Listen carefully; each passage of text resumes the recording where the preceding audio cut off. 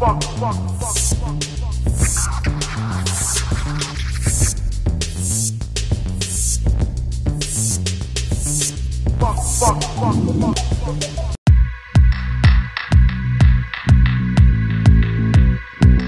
que se ha venido definiendo por el Estado es una continuada ah, avalancha de reformas y de prácticas políticas alrededor de solventar una crisis que han tenido las universidades privadas de este país.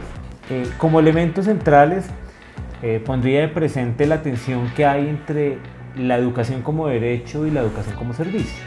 Eh, hay unos elementos claves que ha venido planteando la OCDE y que no son nuevos, y es centrar y concentrar los esfuerzos y los recursos de la educación a la educación básica y media. Los recursos del estado deben estar a la educación básica y media, no solo por un tema de cobertura, no solo por un tema de disminuir los índices de analfabetismo, no solo con una lógica de proteger a los niños, niñas, adolescentes y jóvenes, sino que en el plano de la educación pública superior, los jóvenes que salen del bachillerato tienen que resolver y van a tener que resolver el acceso a la educación superior. Y eso lo que va a significar a mediano y largo plazo es seguir prolongando un esquema de desfinanciación de la universidad pública. Si los jóvenes tienen que resolver su problema de acceso a la educación, pues va a quedar al servicio y al garete de los privados frente a las prácticas de la oferta y la demanda. Entonces el derecho a la educación termina siendo concebido como, eh, eh, un, un bien donde el que tenga los recursos puede comprarlo.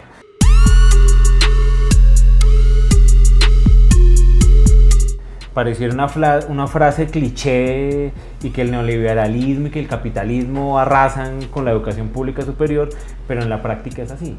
Y entonces, ¿cuál es el esquema eh, de posibilidad de acceso que le estamos generando a nuestros jóvenes en las regiones, a nuestros jóvenes de sectores populares o a nuestros adultos que en estas condiciones eh, de injusticias laborales y de precariedad laboral pues no han podido acceder a la educación a la educación superior.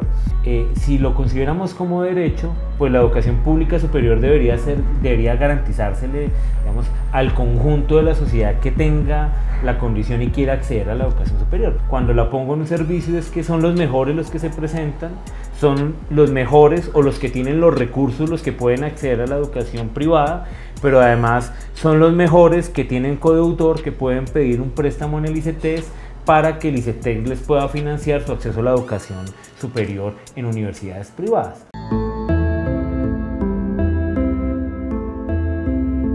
No hay presupuesto para investigación, mientras que el dinero que está presupuestado para la educación pública se está yendo a universidades privadas.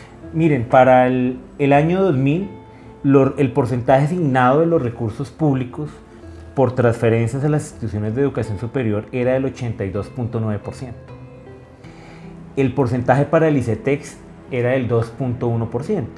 En el 2012, los recursos asignados por porcentaje a las instituciones de educación superior fue del 59.4%. Vivimos casi en, en 30% de la asignación de recursos. El ICETEX pasó del 2.1 al 20%. Todos esos recursos que dejaron de recibir las universidades, ¿para dónde fueron? Pues fueron a subsidiar la demanda y es a solventar la crisis de las universidades privadas por vía de los costos de matrícula. Otro, otro elemento importante que es un debate y que parece que pasó de soslayo eh, este año fue la aprobación del sistema de financiación contingente al ingreso. ¿Qué es lo que está haciendo el sistema contingente eh, al ingreso? Liberar la responsabilidad estatal frente a la educación pública superior, porque se lo está cargando a subsidiar el ICETEX y el ICETEX debería uno asumirlo como un banco, ¿sí? donde lo que hace es prestar para que la gente acceda a la educación pública superior.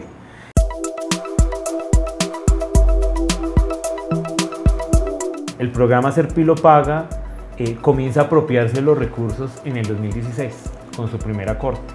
En el 2016 se llevó 373 mil millones de pesos, se llevó el 46.4% del 75% asignado a las universidades públicas. ¿Cuánto se llevan las universidades? 239 mil millones. Estamos hablando de 82 universidades públicas. Y Serpilo Paga en su primera corte eran beneficiar 10.000 estudiantes. En el 2017 se llevó solo la, la módica suma de 434 mil millones de pesos. Se llevó el 66.9% de los recursos CRE eh, y las universidades públicas por el recaudo quedaron con el 33.1%. Los recursos públicos que deberían estar destinados a la universidad pública eh, se fueron a financiar un programa, con las promesas que siempre han hecho los gobiernos de turno. Recuerden que las universidades vienen en un déficit estructural que asciende alrededor de los 15 billones de pesos al día de hoy.